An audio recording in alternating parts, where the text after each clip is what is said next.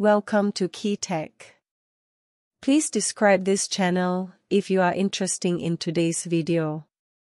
While the United States is blocking high-end chips, China has quietly made a big move in the mid-range market. Although the United States is clinging to cutting-edge technologies such as 5 nanometers and 3 nanometers, China is making great strides in the 28 nanometers field and has defeated international giants at bargain prices. In hot fields, such as new energy vehicles, photovoltaics, and industrial robots, more and more domestic chips are used. What's more, these cheap and powerful chips are supported by the complete industrial chain and cost control of Chinese manufacturing, which is simply unstoppable. This is a comprehensive counterattack from technology to market to supply chain. At the beginning, everyone's eyes were on the high-end players in the chip industry. The United States has imposed a high-tech blockade, restricting China from buying advanced 5 nanometers and 3 nanometers chip equipment. On the surface, this seems like a big move, strangling the neck of China's semiconductor industry. However, the United States did not expect that China would turn around and start to work on the relatively mature 28 nanometers process. Although 28 nanometers does not sound high-end, it is a keynote for many industrial chips and automotive-grade chips.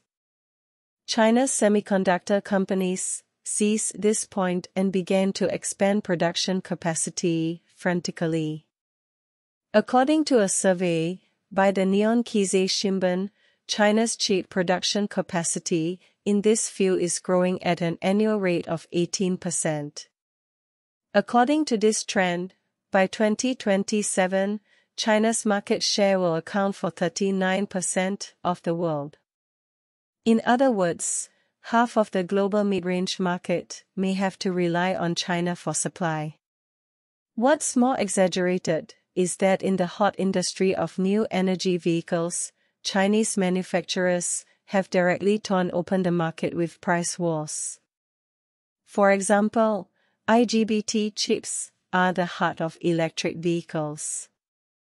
In the past, the market for this type of chip was basically monopolized by foreign manufacturers, and the price was very expensive. But as soon as Chinese manufacturers took action, they cut the price from $1,500 to $500. Don't think that the price reduction seems to be a loss-making profit, but in fact, it is supported by China's complete manufacturing chain. What's the result?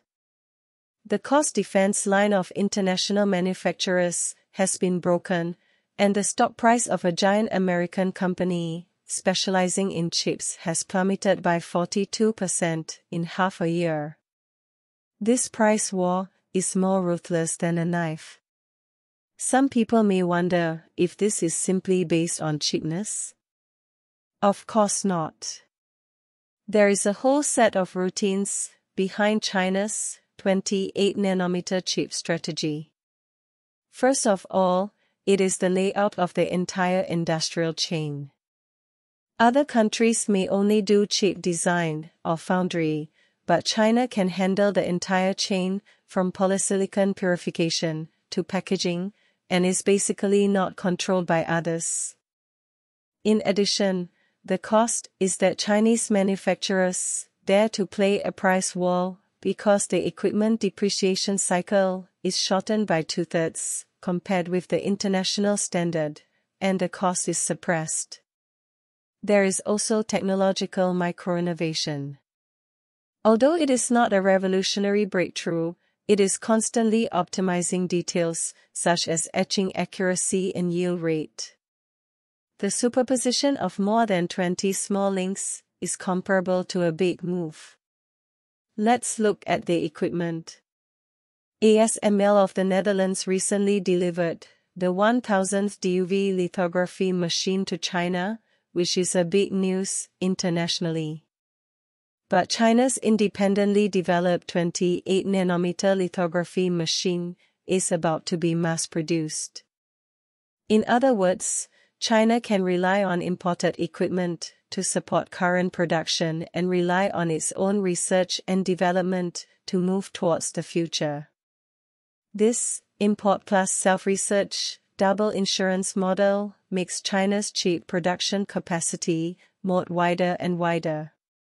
The United States has also thought about counterattacks. The U.S. Department of Commerce has long listed a bunch of tariff lists to block the export of Chinese chips. What's the result?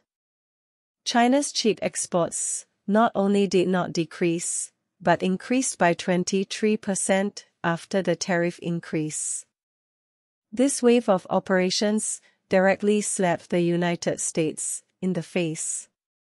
In the field of industrial chips, the market has expressed its attitude with orders, cost performance is the real king.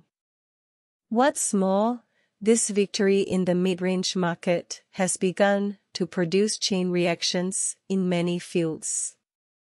The localization rate of domestic chips used in new energy vehicles has now exceeded 85%. The cost of photovoltaic inverter chips has directly dropped by 40% due to localization.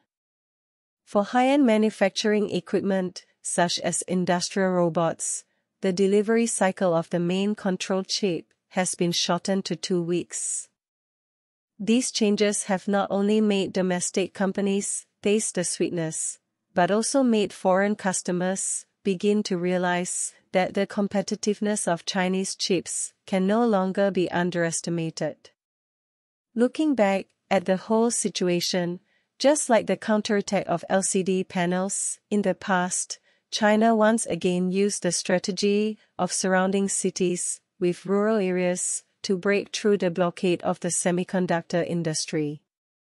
It's true that the United States is guarding the 3 nanometer technology throne, but China has quietly reconstructed the global semiconductor market map with 28 nanometer chips. Although this chip war seems to be a technical contest, the business logic and market competition behind it are the real main battlefield. High-end technology is important, but victory in the mid-range market is the economic foundation. China has leveraged the global market with 28 nanometer chips, a situation that no one expected. What do you think? Welcome to leave a message in the comment area to discuss.